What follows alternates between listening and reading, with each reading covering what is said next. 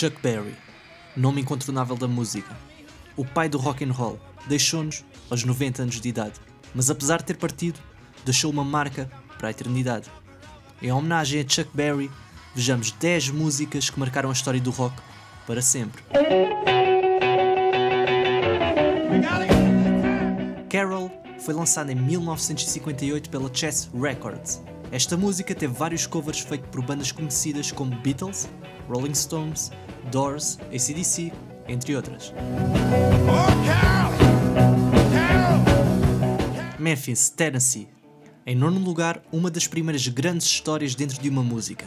No início, Chuck Berry está ao telefone a implorar a um operador que o conecta a uma rapariga chamada Mary.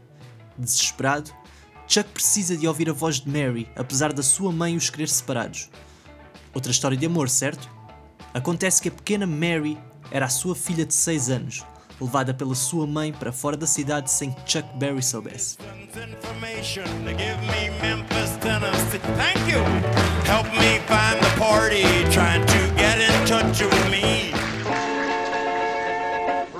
dos grandes hits de Chuck Berry mostrou que ele conseguia arranjar novas formas de contar uma história sobre carros e mulheres. Nesta música, descreve como a tentativa de encontrar um lugar tranquilo para estar com a sua namorada foi estragada por um cinto de segurança que não desprendia.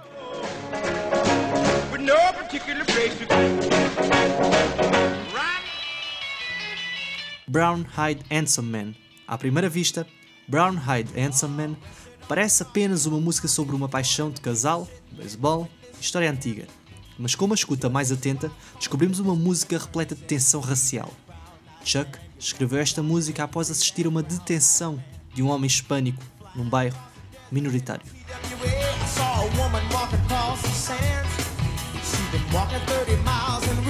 Back in the USA, Chuck Berry.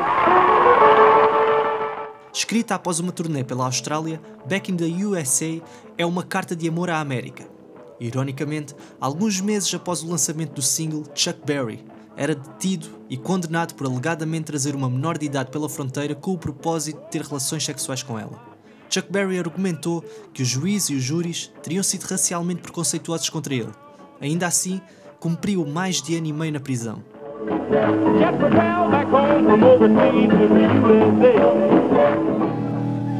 Coming up next. Just let me hear some of that rock and roll music. Assim como muitas outras músicas rock and roll, esta é uma celebração da música que ele ajudou a popularizar. Foram feitas versões cover de rock and roll music pelos Beatles e Beach Boys. Uh,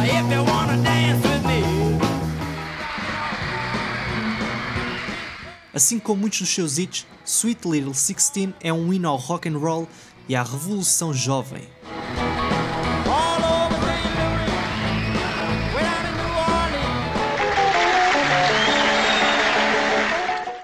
Apesar do público dos anos 50 não precisar de mais sinais que o rock and roll veio para ficar, Roll Over Beethoven é uma declaração da música enquanto força cultural e uma exigência para que seja tratada seriamente enquanto arte.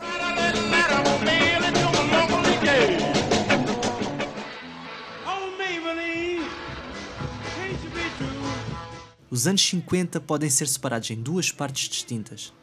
Tudo antes e tudo depois do rock and roll. Maybelline foi o ponto de ruptura.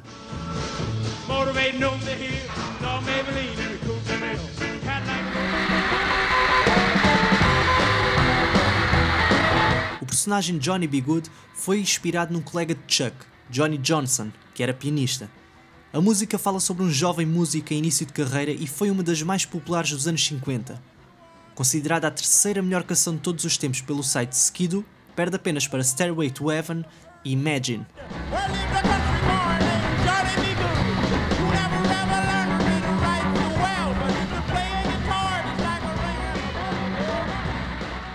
Até um dia, Chuck Berry.